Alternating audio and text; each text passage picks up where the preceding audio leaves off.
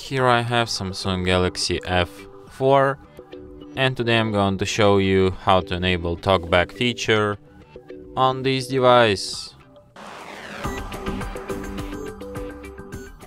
So to do this, firstly you have to open settings, then you have to go to the accessibility section and then go to the talkback.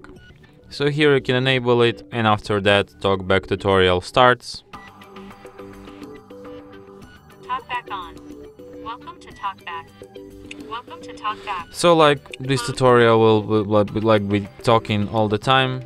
I'm gonna explain it to you much faster. So talkback is a mode meant for people with blindness or some other vision problems who have difficulty seeing the screen and it works the way that it spells out loud, speaks out loud a text on the screen where you tap on it. So for example I tap close Close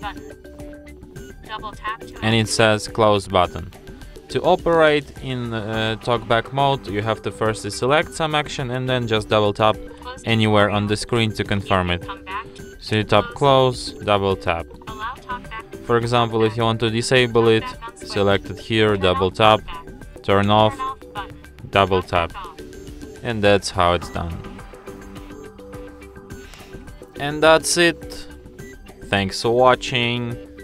If you find this tutorial useful, don't forget to hit that like button and subscribe to our channel.